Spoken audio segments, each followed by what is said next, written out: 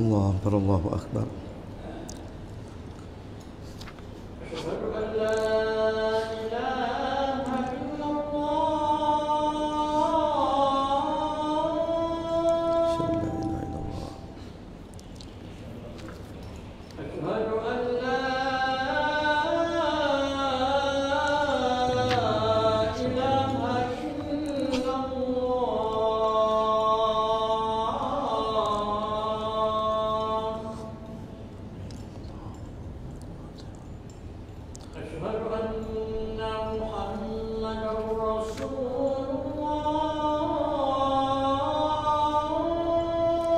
أشهد أن محمدا رسول الله.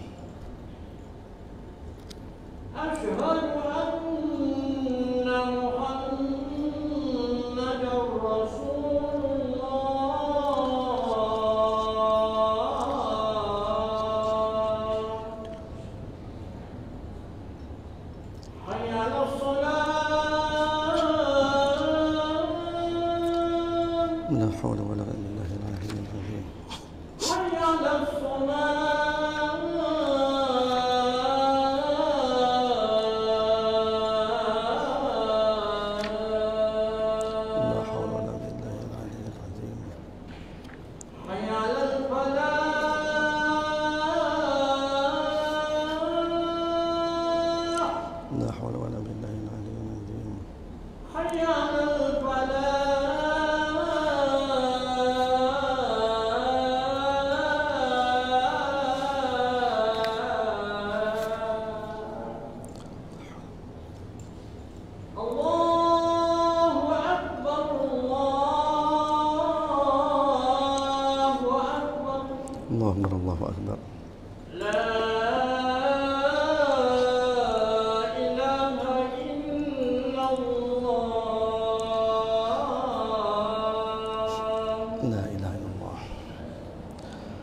الحمد لله.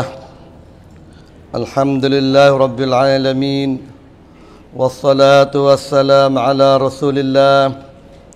سيدنا وحبيبنا المصطفى محمد وعلى آله وصحبه ومن والاه بإحسان إلى يوم الدين.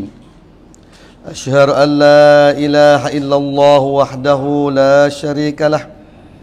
وأشهد أن محمدا عبده ورسوله. أرسله بالهدى ودين الحق ليظهره على الدين كله ولو كره الكافرون. قال سبحانه وتعالى يا أيها الذين آمنوا اتقوا الله حق تقاته ولا تموتن إلا وأنتم مسلمون. Ma'asyiral mu'minin rahimani wa rahimakumullah. Marilah sama-sama kita bertakwa dan takut pada Allah Subhanahu wa taala. Dan ketahuilah bahawasanya setiap yang bernyawa akan mati. Maka selepas mati Allah akan mempersoalkan satu persatu tentang amalan yang kita lakukan di atas dunia ini. Maka kita dah mengetahui dan setia maklum bahawa manusia di sisi Allah Subhanahu wa taala ada sebahagian mereka diredai Allah dan sebahagian lagi mereka dimurkai dan dibenci oleh Allah Subhanahu wa taala. Maka orang-orang yang Allah taala benci orang-orang yang Allah taala laknat mereka itu maka sama sekali mereka tidak terlepas daripada azab Allah Subhanahu wa taala dan mereka tidak ada peluang untuk masuk memasuki syurga Allah melainkan dengan keizinan Allah dan rahmat Allah setelah daripada minta keampunan di atas segala kesalahan mereka. Ma'asyaral mu'mini rahimani wa rahimakumullah. Kalau kita membalik dalam lipatan hadis Nabi sallallahu alaihi wasallam dalam ayat Al-Quran maka di sana didapati banyak ayat-ayat Allah yang Allah menyatakan sebahagian daripada mereka yang Allah Ta'ala laknat mereka dan Allah Ta'ala benci mereka dan mereka ini tak dapat masuk surga Allah Subhanahu wa taala. Maka insya-Allah saya memuatkan dalam kutubah saya ini dapat mengemukakan beberapa jenis manusia yang Allah Taala laknat dan Allah Taala kutuk. Sekiranya kita beralang golongan ini maka kita juga termasuk orang yang Allah Taala laknat dan orang yang tidak berhak memasuk syurga Allah Subhanahu wa taala. Waliyazbillah. Di sana ada ulama menyatakan seratus jenis lebih manusia dilaknat oleh Allah Subhanahu wa taala. Ada ulama tulis dua puluh lebih, belah lebih, belah jenis manusia. Ada hadis-hadis dan ada mari empat jenis manusia, sepuluh jenis manusia. Tapi ringkasnya kalaulah kita kita tengok berapa hadis yang menyatakan orang yang dilaknat oleh Allah Subhanahu wa taala dan dilaknat oleh nabinya dan para malaikatnya maka di sana lebih daripada seratus jenis manusia dan Allah Taala laknat. Waliyazbillah. Semoga kita dan umat Islam senasib dengan kita lepas daripada mal'un laknat Allah Subhanahu wa taala. Di antaranya orang dilaknat oleh Allah Subhanahu wa taala orang sembelih bukan kerana Allah Subhanahu wa taala. Maka dah tentu kita tak buat sembelih kerana nak jamu jin hantu dan perubatan dan sebagainya orang yang melindungi penjahat dan orang buat maksiat dan orang buat bid'ah kita bantu mereka dan kita mempertahankan mereka mereka ini didapati hadis yang sahih orang yang kenal laknat Allah Subhanahu wa taala orang yang mencela dua ibu bapa Orang mencela dua ibu bapa ni orang ni masuk orang yang Allah Taala laknat mereka. Rada Allah fi radal walidain. Rada Allah adalah bersama dengan keradaan dua ibu bapa. Sahabat bertanya bagaimanakah orang yang melaknat dua ibu bapa? Sedangkan tabiat manusia kasih kepada dua ibu bapa iaitu yal'ana rajul abar rajul. Seorang lelaki dia pergi laknatkan ayah persaudara yang lain. Dalam arti kata kita hidup maki ayah bapa ibu bapa dan saudara kita maka saudara kita orang lain pula maki terhadap dua ibu bapa kita. Maka itu masuk yal'anur rajul abar rajul. Jadi kalau kita hidup maki hidup maki hidup laknat orang lain maka nanti orang lain akan laknat dua ibu bapa kita. Maka itu juga masuk dalam laknat terhadap dua ibu bapa walaupun kita pergi maki orang kafir sekalipun tidak boleh apabila dia telah mati Nabi sallallahu alaihi wasallam bersabda la'anallah man zabaha li ghairillah wa anallah la'anallah man awa muhdisan wa la'anallah man la'ana walidayhi walana Allah man la man ghayra man ghayra manar sesungguhnya Allah telah laknat bagi mereka yang sembelih bukan kerana Allah. Allah Taala laknat bagi orang menjaga mempertahan di awal kesalahan. Dan Allah Taala laknat bagi orang yang menyumpah sumpah laknat terhadap dua ibu bapa. Dan juga orang yang mengubah Allah Taala laknat bagi orang yang mengubah tanah makna setara tanah. Mari dia hipik tanah mari dia ambil tanah orang lain. Maka mereka ini mengikut hadis sahih yang diceritakan oleh iman muslim. Mereka ini Allah Ta'ala laknat mereka dan juga orang yang mengusahakan budaya mabuk. Jual arak buat arak segala jenis mabuk. Allah Subhanahu wa taala laknat. La'ana Rasulullah sallallahu alaihi wasallam fil khamri asyaratan.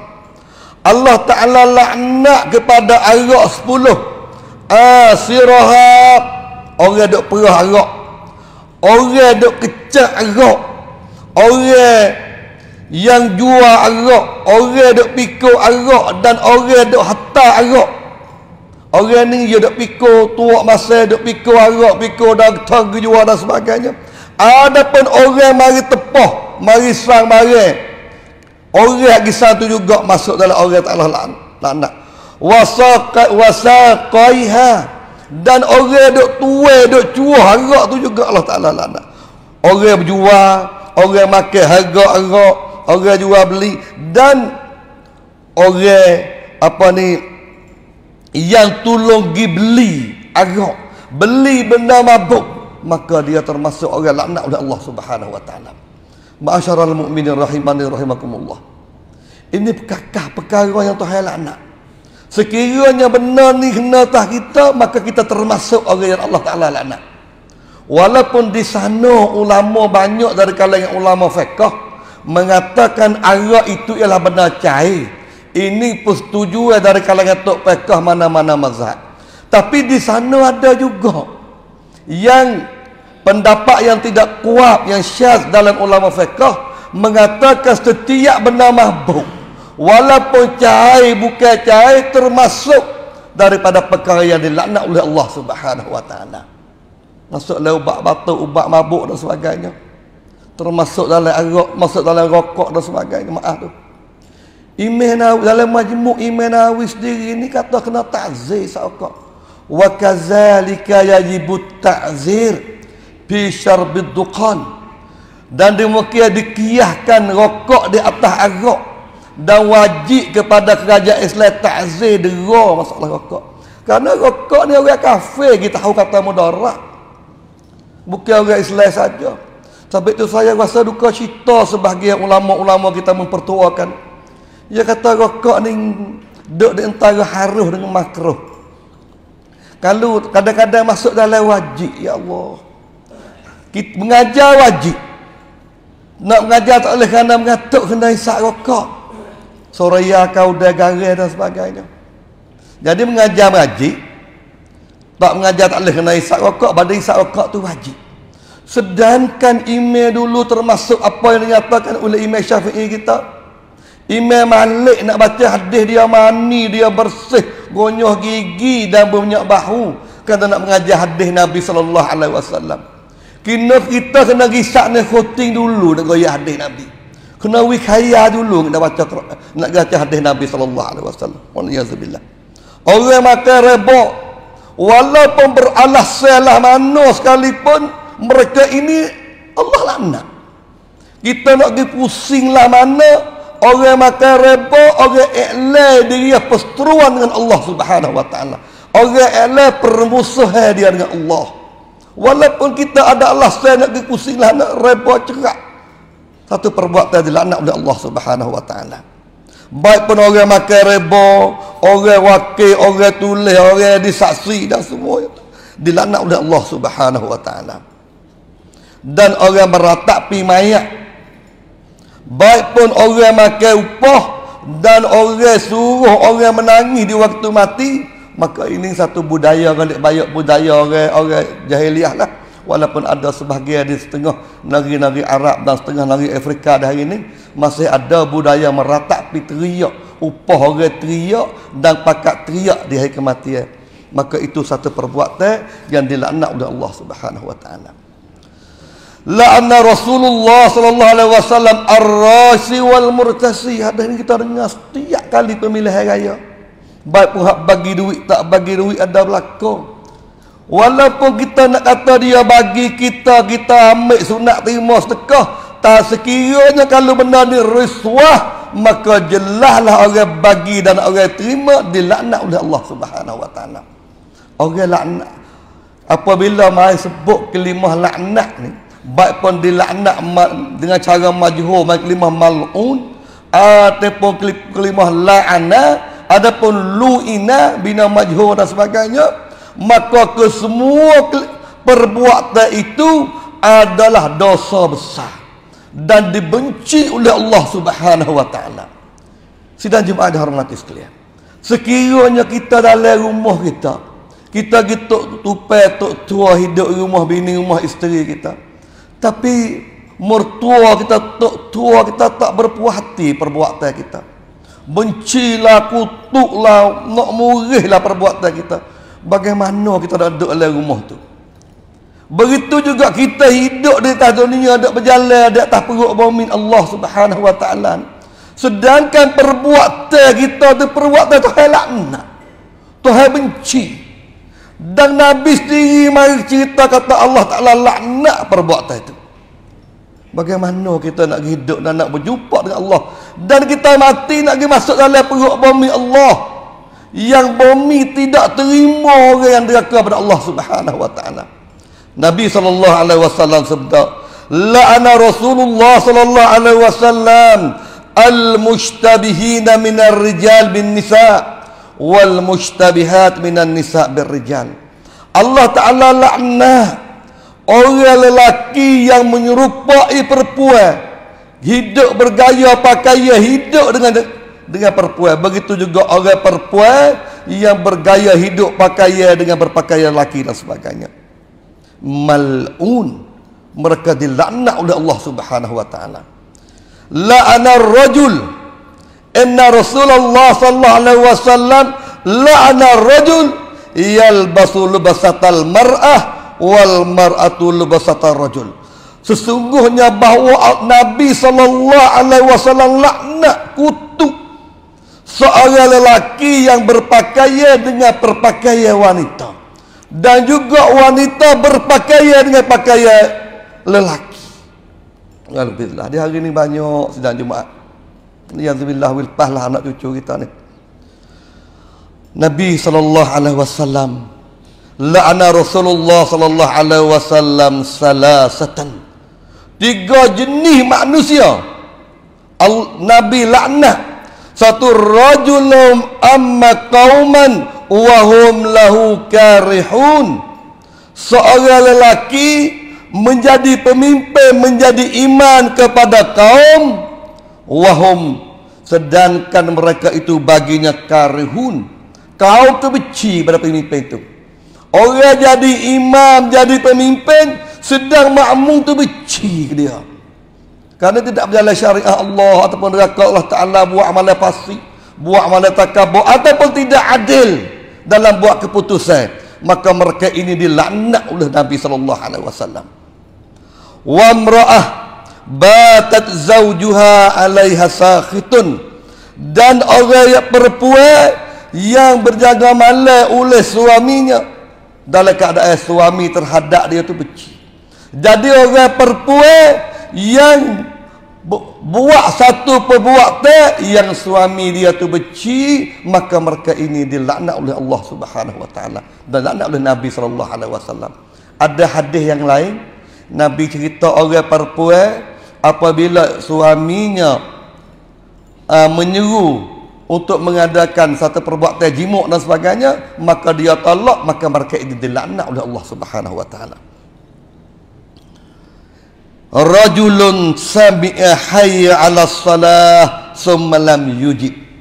Seorang lelaki apabila dengar hayya 'ala salah hayya 'ala falah mari semaya mari kita mari cari kebahagiaan di dunia dan akhirat summa lam yujib kama dia tidak jawab tidak tunai seruan Allah menyeru supaya semaya berjamaah di masjid dia tidak sahuti mereka ini termasuk orang dilaknat oleh Allah Subhanahu wa taala. Tiga golongan yang Nabi cerita. Walaupun hadis ini sanadnya ada perselisihan dari kalangan para ulama. Ma'asyaral mu'minin rahimani wa rahimakumullah. Nabi laknat la'anallah al-muhallala al-muhallila wal muhallalah. Allah Taala laknat pesim nikah Cina buta. Apabila seorang ni tolak bini yang tiga kali atau tiga tolak dah. Maka dia lagi cari orang supaya menikah dengan bini dia. Dengan berapa hari atau berapa saat sudah menikah tolak supaya dia nak ambil kelik isteri dia. Maka itu Cina buta. Hakikat Cina celak hari ini. Tapi kita heran majlis agama Islam dah buat hari ini. Sedangkan Nabi laknah. Jadi sebenarnya kena cabut tu imih habis ini waktu Cina buta ni. Kata Nabi sallallahu alaihi wasallam hadis Bukhari, hadis Imam Ahmad, mai royak jelas Allah Taala laknat Cina buta, menikah pasal Cina buta, muhallilah dengan muhallalah. Ma'asyaral mu'minin rahimani rahimakumullah. Mari kita jauh daripada perbuatan yang Allah Taala laknat. Di antara perbuatan yang kita dok buat hari-hari la'anallahu al-kazibin Allah Ta'ala laknat pendusta orang bohong kecek tak betul Allah Ta'ala laknat. Tapi setengah-setengah tadika lah hari ni ada juga dah hajar budak bau kecek bau dek tak pantau waliyazubillah. Dia hajar ui cerdik apa sedangkan perbuatan dibenci dikutuk oleh Allah tua yang mencipta dunia dunia dan Nabi sallallahu alaihi wasallam ialah sebagai utusan Allah yang mari nak royak agama kepada kita dan umat manusia supaya melepah mereka minaz zuluma ila nur Ma'asyaral mu'minin rahimani wa rahimakumullah. Kalau kita tengok lagi banyak di antaranya orang yang mendatangkan isterinya di duburnya. Maknanya orang wati isteri di bitu belakang itu dilaknat oleh Allah Subhanahu wa taala kerana ini satu amalan kaum Lut. Orang lelaki yang lewat baik pun lelaki lewat lelaki ataupun lewat perempuan maka itu mal'un dilaknat oleh Allah Subhanahu wa taala. Dilaknat ini lebih daripada zina. Zina satu perbuatan yang dikeji. Perbuatan yang hampir dengan zina dah pun dikeji, apatah lagi perbuatan zina wa niyazubillah astagfirullahalazim. Dan perbuatan lawak ini lebih keji lagi. Kalau kita baca dalam sejarah dunia umat Islam, sejarah kenabian, tidak pernah sebut dalam hadis sahih apatah tidak sebut dalam Al-Quran dan tidak pernah sebut dalam hadis sahih yang Allah Ta'ala turun bala bencana sebuah wilayah dengan sebab berzina dan sebagainya. Tak ada. Tapi ada sebut dalam Al-Quran sebut dalam hadis Allah Ta'ala telah turun bala bencana kepada orang lewat. Berarti lewat di satu perbuatan mal'un perbuatan laknat.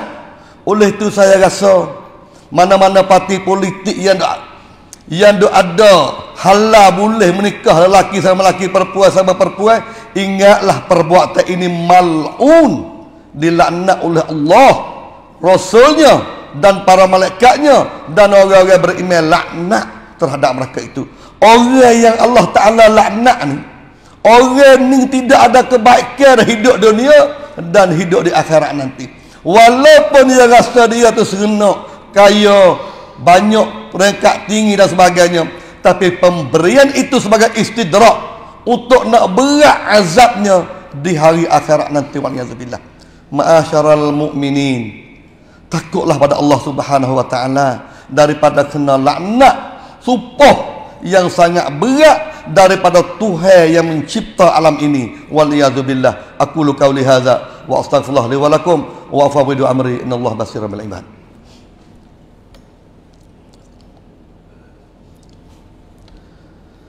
Alhamdulillah Rabbil Alamin.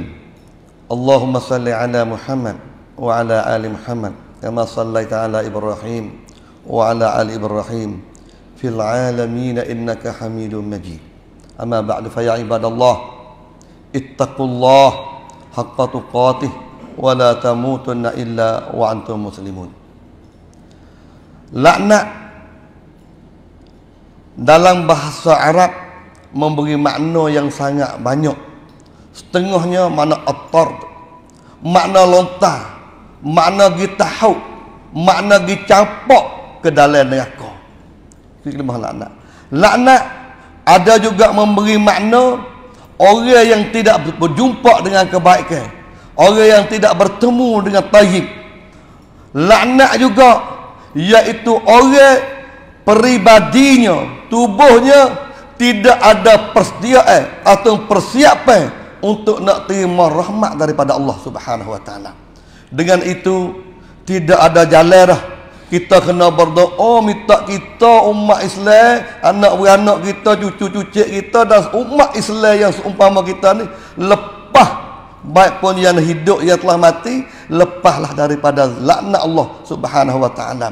Allahumma ighfir lil muslimin wal muslimat wal mu'minin wal mu'minat al ahya'i minhum wal amwat Allahumma inna nas'aluka al huda wal afa wat tuqa wal ghina Allahumma inna nas'aluka ridhaka wal jannah wa na'udzu bika min sakhatika wan nar Allahumma antas salam wa minkas salam wa adkhilna al-jannata daras salam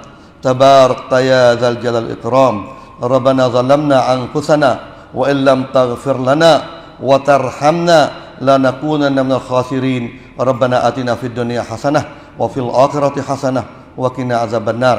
سبحان ربك رب العزة عما يصفون وسلام على المرسلين والحمد لله رب العالمين. أقيموا الصلاة يا عباد الله.